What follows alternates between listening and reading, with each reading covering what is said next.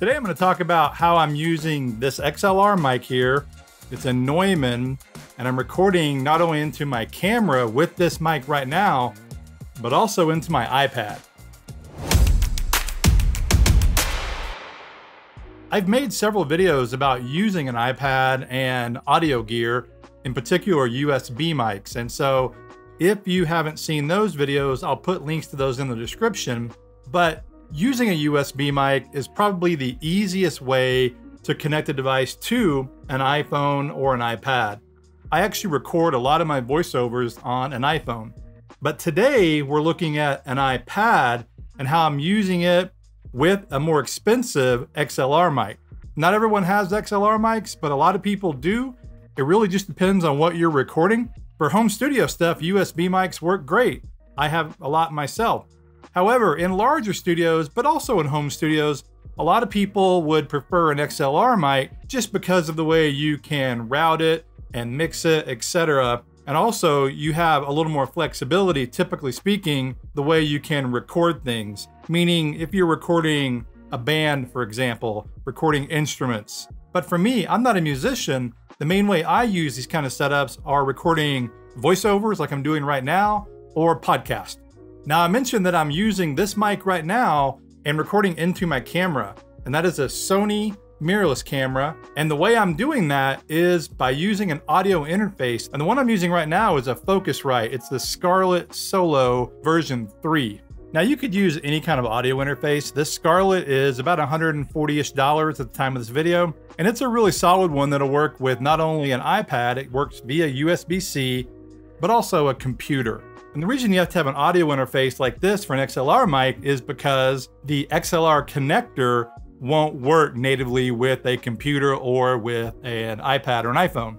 In particular, an iPad in this example. And so you have the ability to plug an XLR mic into the Focusrite, and then the output of the Focusrite is USB, it's USB-C, and that goes into your iPad in this case. Now, the nice thing is with this particular audio interface, it also has an output for speakers. It has a main out. And the way I'm routing that right now is the main out here will go into my camera. And so that way I'm able to send an analog signal out of this to my camera. And at the same time, I'm coming over here to my iPad.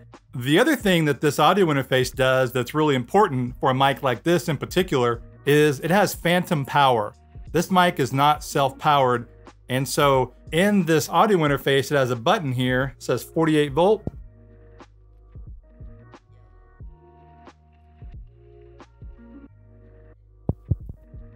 And now it's back on, and so I should be getting audio there. Yes, I am. So the phantom power is really important depending on the type of mic you have. Most high-end professional mics will require phantom power.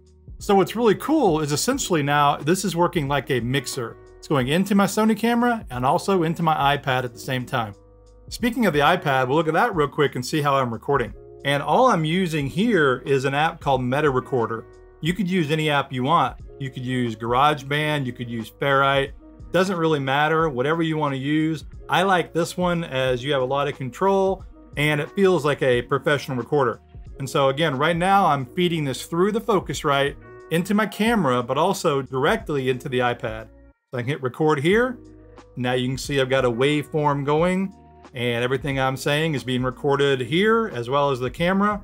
And then in post-production, I could either choose which one to use depending on what I'm doing. So in other words, I wouldn't have to record to the camera or I don't have to record to the iPad, but I have options, which I really like. And now a word from our sponsor. If you're new to mobile audio production, check out my course, The Complete Guide to Smartphone Audio Production. It's a great beginner's course covering everything from podcasting to voiceovers to on-set video production. So if you're interested, please check it out. Link is in the description. Now, of course, you don't have to use a Focusrite. In a previous video, I showed the iRig Pre, which I also have. It's a little bit streamlined. It's not quite as advanced as this one. For this one, you can actually do two inputs. You can do a quarter inch input.